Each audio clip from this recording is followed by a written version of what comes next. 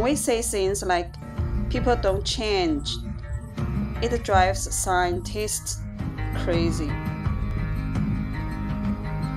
Because change is literally the only constant in all of science.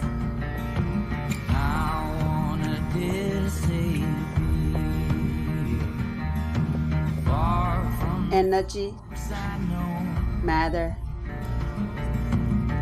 it's always change. Morphing, merging, growing, dying. It's the way people try not to change that's unnatural.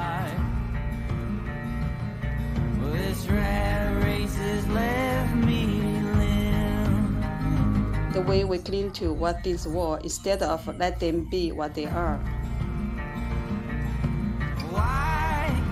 Way we cling to old memories instead of forming new ones. The way we insist on believing, despite every scientific indication, that anything in this lifetime is permanent.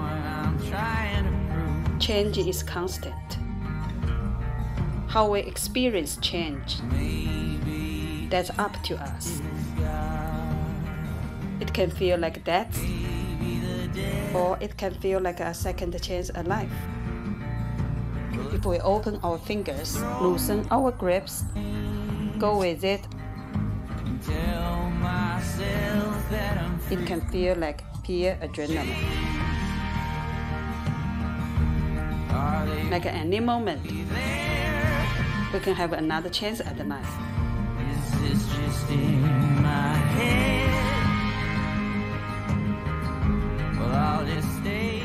Like at any moment.